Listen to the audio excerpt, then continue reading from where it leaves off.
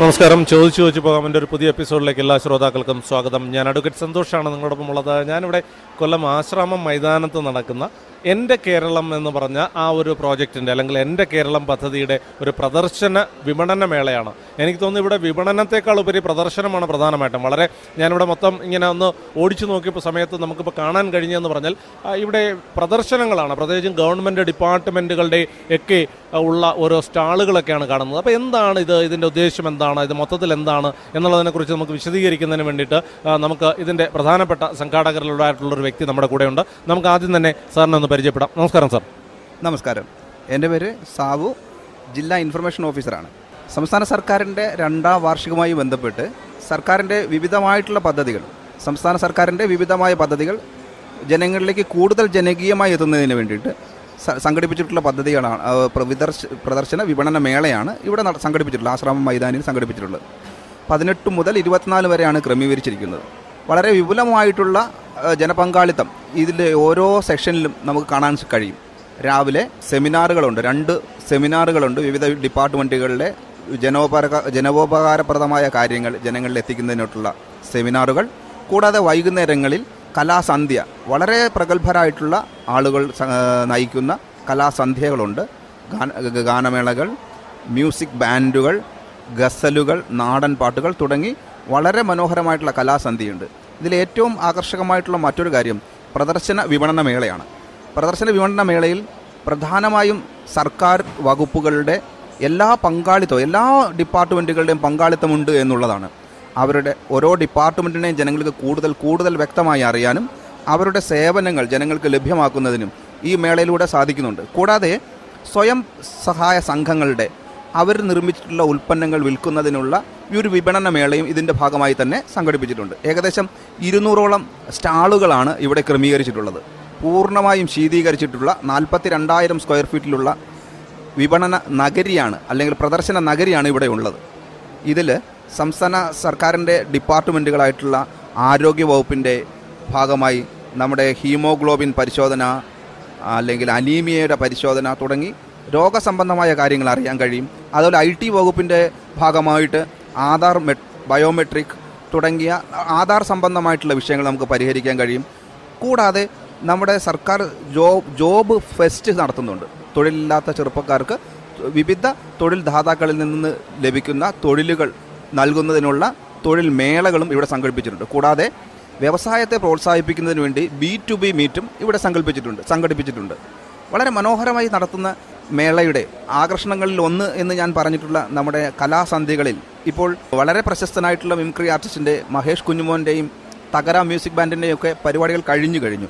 ഇനിയിപ്പോൾ ഏറ്റവും ശ്രദ്ധേയമായി പറയാനുള്ളത് ഏറ്റവും പ്രശസ്തനായിട്ടുള്ള ഷഹബാസ് അമന്റെ ഗസൽ അതുപോലെ തന്നെ ഈറ്റില്ലം ബാൻഡ് അതുപോലെ ഓടക്കുഴൽ ഫ്യൂഷൻ നമ്മുടെ രാജേഷ് ചേർത്തലയുടെ ഓടക്കുഴൽ ഫ്യൂഷൻ അതുപോലെ ഏറ്റവും പ്രശസ്തരായിട്ടുള്ള യുവജനങ്ങളുടെ ഹരമായി മാറിയിട്ടുള്ള ആൽമരം ബാൻഡ് ഇവരൊക്കെ ഇനി ഈ വേദി പങ്കിടാൻ പോവുകയാണ് അത് വലിയ ഒരു വിജയമായി തീർന്നുകൊണ്ടിരിക്കുകയാണ്. എല്ലാവരും ഈ പരിപാടി കാണാൻ എത്തണം.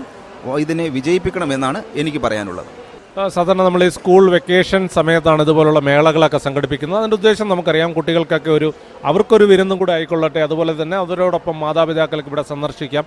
പുതിയ പുതിയ കാര്യങ്ങളൊക്കെ മനസ്സിലാക്കാമെന്നുള്ളത് അപ്പം നമ്മളിവിടെ ഗവൺമെന്റിനെ കൂടുതൽ അടുത്തറിയുന്നു. അല്ലെങ്കിൽ കുട്ടികളെ കൊണ്ടുവന്ന് പുതിയ തലമുറയെ ഗവൺമെന്റിലേക്ക് കൂടുതൽ അടുപ്പിക്കുന്നു അഥവാ അവരുടെ ഗവൺമെന്റ് സംവിധാനങ്ങളെ കൂടുതൽ അടുത്തറിയുന്നു. ഞാനിപ്പോൾ ഈ ഇപ്പോൾ ഇങ്ങോട്ട് വരുന്ന വഴിക്ക് തന്നെ ഞാൻ ആദ്യം കയറിയത് ഇവിടെ ഞാനൊന്ന് ഓടിച്ച് നോക്കി എന്നുള്ള കാര്യം ഞാൻ നേരത്തെ സൂചിപ്പിച്ചാണ് സാറിനോട്. ഞാൻ ഓടിച്ച് ഒന്ന് പോയ സമയത്ത് പറഞ്ഞാൽ ഞാൻ ആ പോലീസ് ഡിപ്പാർട്ട്മെന്റിന്റെ ഭാഗത്തേക്ക് ഞാൻ പോയിരുന്നു ഫയർഫോഴ്സിനെ കണ്ടിരുന്നു. അപ്പോൾ ഇവിടെയൊക്കെ എന്ന് പറയുന്നത് അവരുടെ സംവിധാനങ്ങളെ അവർ ഉപയോഗിക്കുന്ന എന്തെല്ലാം മാർഗങ്ങളുണ്ട് ഇതിനെക്കുറിച്ചെല്ലാം ഗവൺമെന്റിന്റെ സംവിധാനങ്ങളെ അത് ജനങ്ങളിലേക്ക് എത്തിക്കുക പ്രത്യേകിച്ച് യുവതലമുറയിലേക്ക് എത്തിക്കുക എന്നുള്ളതാണ്. അപ്പോൾ അതിന് ഇത്രത്തോളം ഈ ഒരു ഈ മാർഗമല്ലാതെ നമുക്ക് തീർച്ചയായിട്ടും നമുക്കൊരു പോലീസ് സ്റ്റേഷനിൽ ചെന്ന് അവിടെ ഉപയോഗിക്കുന്ന ഒരു തോക്ക് എടുത്ത് നോക്കാൻ നമുക്ക് സാധിക്കില്ല. അപ്പോൾ അത് എത്രത്തോളം നമുക്ക് പ്രയോജനകരമാണ്. അതായത് ജനങ്ങളുടെ അറിവിലേക്ക് പ്രത്യേകിച്ച് വരുന്ന കുട്ടികളുടെ ഇവിടെ ഒരുപാട് കുട്ടികളുടെ ഒരു പങ്കാളിത്തം ഞാൻ കാണുന്നുണ്ട്. കാരണം വെക്കേഷൻ കൂടി ആയതുകൊണ്ടാണ്. അപ്പോൾ ആ കുട്ടികളിലേക്ക് ഇത്തരത്തിലുള്ള അറിവ് പകരുന്നത് അവരുടെ ഫ്യൂച്ചറിനെ എത്രത്തോളം ഗുണകരമാകുമെന്നാണ് സാർ വിശ്വസിക്കുന്നത്? തീർച്ചയായിട്ടും. അതായത് പഠിക്കുന്ന വിദ്യാർത്ഥികളെ സംബന്ധിച്ച് സർക്കാരിനെ കൂടുതൽ അടുത്തറിയേണ്ടതായിട്ടുള്ള പല കാര്യങ്ങളുമുണ്ട്. അവർക്ക് എങ്ങനെ ഒരു തൊഴിൽ നേടിയെടുക്കാം? ഏത് പോർട്ടലിൽ രജിസ്റ്റർ ചെയ്യണം? ഒരു സംരംഭകം തുടങ്ങേണ്ടത് എങ്ങനെയാണ്? അതിന് ആരുടെ സഹായം തേടണം? അതല്ലെങ്കിൽ ഒരു സംരംഭം തുടങ്ങിക്കഴിഞ്ഞാൽ അതിന്റെ മാർക്കറ്റിംഗ് എങ്ങനെയാണ്? തുടങ്ങി വിജ്ഞാനപ്രദമായ കാര്യങ്ങൾ മനസ്സിലാക്കാൻ ഉതകുന്ന രീതിയിൽ തന്നെയാണ് ഈ മേള സംഘടിപ്പിച്ചിട്ടുള്ളത്. അതുകൊണ്ട് തന്നെ ഇതിലെ ഓരോ സ്റ്റാളുകളും സന്ദർശിച്ച് അത് വിശദമായി പഠിക്കേണ്ടത് വിദ്യാർത്ഥികളുടെ കൂടി ഒരു അത്യാവശ്യമായിട്ടുള്ള കാര്യമാണെന്നാണ് എനിക്ക് പറയാനുള്ളത്.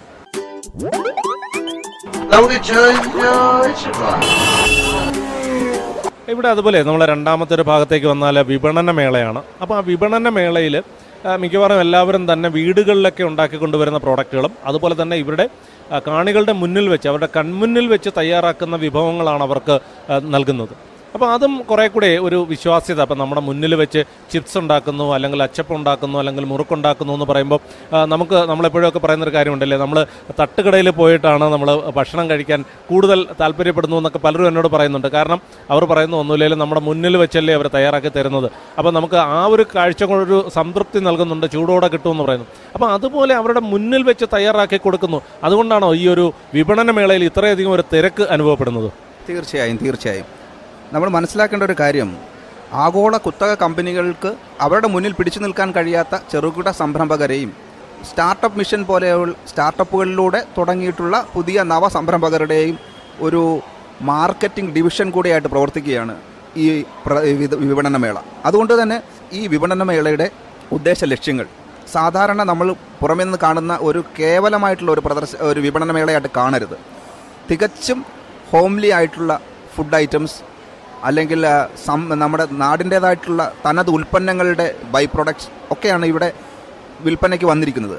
മാത്രവുമല്ല ഇവരെല്ലാം സർക്കാർ അംഗീകൃതമായിട്ടുള്ള ഏജൻസികളാണ് എന്നുള്ളതാണ് അതിന്റെ വിശ്വാസ്യത കൂടുതൽ ഇരട്ടിക്കുന്നത്. സർക്കാരിന്റെ എല്ലാവിധ ലൈസൻസോടുകൂടി ഇവിടെ വന്നാണ് അവർ വിൽപ്പന നടത്തുന്നത്. അതുകൊണ്ട് തന്നെ ആർക്കും വിശ്വസിച്ച് ഇവിടുത്തെ ഏത് സാധനവും വാങ്ങാവുന്നതാണ്. ഇവിടുത്തെ ഫുഡ് കോർട്ടിന്റെ തിരക്ക് ഞാൻ ആ ഭാഗത്തേക്ക് പോയില്ല. എങ്കിലും പൊതുവേ പറഞ്ഞു കേട്ടു. ഇപ്പം ഇത് ഇന്ന് രണ്ടാം ദിവസമാണെന്ന് ഞാൻ പറഞ്ഞു.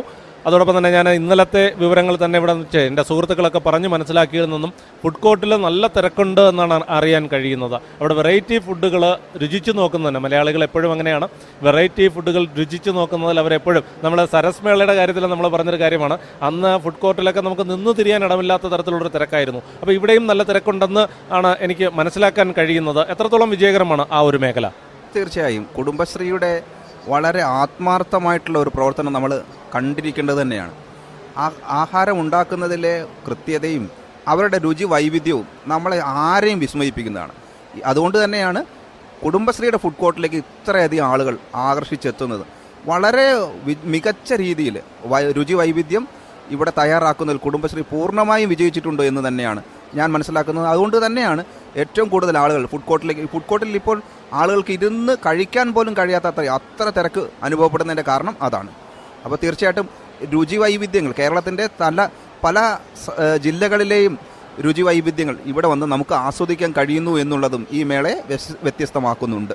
ഞാൻ കണ്ട ഒരു കാര്യം കൂടെ കാണുന്നുണ്ട്. ഇവിടെ സ്റ്റുഡൻസ് പോലീസ് കേഡറ്റിന്റെ ഒരു വലിയൊരു അതായത് ഒരു വോളണ്ടിയറിംഗ് വർക്ക് അവർക്ക് കുട്ടികൾക്ക് വളരെ ആവേശം പകർന്നുകൊണ്ടാണ് ഈ എസ് പി സിയുടെ കുട്ടികൾ ഇവിടെ ഇങ്ങനെ ഒരുപാട് പേര് കാര്യത്തിലൊക്കെ ഇവിടെ സഹായിക്കുന്നതിന് വേണ്ടിയൊക്കെ നിൽക്കുന്നതായിട്ട് കാണുന്നുണ്ട്. അതോടൊപ്പം തന്നെ ട്രാക്കിന്റെ മോട്ടോർ വെഹിക്കിൾ ഡിപ്പാർട്ട്മെന്റിന്റെ ജനകീയ മുഖമായിട്ടുള്ള ട്രാക്ക് എന്ന് പറഞ്ഞ സംഘടന അവരുടെ വോളണ്ടിയേഴ്സിനെ ഈ ഇവിടുത്തെ ഒരു ക്രൗഡ് നിയന്ത്രിക്കുന്നതിന്റെ ഭാഗമായിട്ടും അതോടൊപ്പം തന്നെ പോലീസിന്റെ ആ ഒരു പവലിയനിൽ കൺട്രോൾ ചെയ്യുന്നതിന് അല്ലെങ്കിൽ അവർക്ക് സഹായം നൽകുന്നതിനൊക്കെ ആയിട്ട് അവരൊക്കെ കാണുന്നുണ്ട്. അപ്പോൾ ഇത് മൊത്തത്തിൽ പറയുകയാണെന്നുണ്ടെങ്കിൽ എല്ലാവരുടെയും ചേർന്നുള്ള പോലീസാണെങ്കിലും ശരി അതുപോലെ തന്നെ ഫയർഫോഴ്സും അതോടൊപ്പം തന്നെ ഫയർഫോഴ്സിന്റെ ഒരു വലിയ നിര തന്നെ നമുക്കിവിടെ കാണാൻ കഴിയുന്നുണ്ട്. കാരണം ഇതുപോലെയുള്ള മേളകളൊക്കെ നടത്തുമ്പോൾ സുരക്ഷയുടെ ഭാഗമായിട്ട് അത് വേണ്ടതാണ്. അപ്പോൾ ഇവരുടെ എല്ലാവരുടെയും എസ് പി സി ആണെങ്കിൽ പോലും മോട്ടോർ വെഹിക്കിൾ ഡിപ്പാർട്ട്മെന്റ് ആണെങ്കിലും ഇവരുടെ എല്ലാവരുടെയും കൂട്ടായിട്ടുള്ള ഒരു പ്രയത്നം അല്ലെങ്കിൽ കൂട്ടായിട്ടുള്ള ഒരു സംഘടി സംഘടിതമായിട്ടുള്ള ഈ ഒരു പ്രവർത്തനം അതല്ലേ ഈ ഒരു മേളയുടെ വിജയത്തിന്റെ പ്രധാന കാര്യം? അതെ അതെ അതെ. അതുതന്നെയാണ് ഇതിന്റെ ആകർഷണീയതയും. കൂടുതൽ ജനകീയമായിട്ടുള്ള പങ്കാളിത്തമാണ് ഇതിലെ ഇതിന്റെ ഏറ്റവും പ്രധാനപ്പെട്ട എടുത്തു പറയേണ്ട ഒരു വിശേഷം. നമ്മുടെ കൊല്ലത്തിന്റെ ഓരോ ദുരന്ത മുഖത്തും അല്ലെങ്കിൽ ഓരോ പ്രതിസന്ധി ഘട്ടങ്ങളിലും മുന്നിൽ നിന്ന് നയിക്കുന്നത് അവരാണ് ട്രാക്കിലെ ഓരോ ചെറുപ്പക്കാരും. അവരുടെ സേവനം ഇവിടെ വല്ലാതെ ലഭിക്കുന്നുണ്ട് എന്ന് എടുത്തു പറയേണ്ടതായിട്ടുണ്ട്. ട്രാക്കിന്റെ സേവനം പോലെ തന്നെ പോലീസിന്റെ സേവനമുണ്ട്. മറ്റ് സന്നദ്ധ സംഘടനകളും ഇതിന്റെ മേളയുടെ വിജയത്തിനായി പ്രവർത്തിക്കുന്നുണ്ട്. അതുകൊണ്ട് തന്നെ ഇതൊരു ജനകീയമായിട്ടുള്ള ഒരു മേളയാണ് എന്ന് ഉറപ്പിച്ച് പറയുവാനാവും. ഞാൻ ഇങ്ങോട്ട് വരുന്ന വഴിക്ക് ഏറ്റവും കൂടുതൽ കണ്ടത് എന്നെ ആകർഷിച്ചത് പോലീസിന്റെ ആ പോലീസിന്റെ സെല്ലൊക്കെ അവിടെ ഉണ്ട് അപ്പോൾ ആ പോലീസിന്റെ സെല്ലിനകത്ത് ആൾക്കാരെ നിൽക്കുന്നത് അതിനകത്ത് കിടക്കുന്നതിനുള്ള. അതായത് നമ്മൾ പറഞ്ഞ പോലീസിന്റെ ഒരു ഒരു ദിവസമെങ്കിലും നിങ്ങൾ പോലീസ് സ്റ്റേഷനിൽ അല്ലെങ്കിൽ സെല്ലിനകത്ത് അകത്താകാതിരിക്കാൻ വേണ്ടിയിട്ട് ഒരു നിമിഷം ഇതിനകത്ത് ഒന്ന് കയറിക്കോളൂ എന്നൊരു ക്യാപ്ഷനോട് കൂടി ആൾക്കാരൊക്കെ അവിടെ നിൽക്കുന്നത് കാണുന്നുണ്ടായിരുന്നു. അതും ഒരു വെറൈറ്റി ആയിട്ട് എനിക്ക് തോന്നി. അപ്പോൾ അവിടെയാണ് വലിയ തിരക്ക് അനുഭവപ്പെടുന്നത്. എന്തായാലും ഞാൻ ഇവിടെ ഞാൻ ഇവിടുത്തെ ഒരു കാര്യങ്ങൾ അവസാനിപ്പിച്ചുകൊണ്ട് നേരെ അങ്ങോട്ടേക്ക് പോവുകയാണ് നമുക്ക് അവിടുത്തെ വിശേഷങ്ങളെല്ലാം ചോദിച്ചു പറഞ്ഞു മനസ്സിലാക്കാം. ഒരു ചെറിയ ഇടവേളയ്ക്ക് ശേഷം.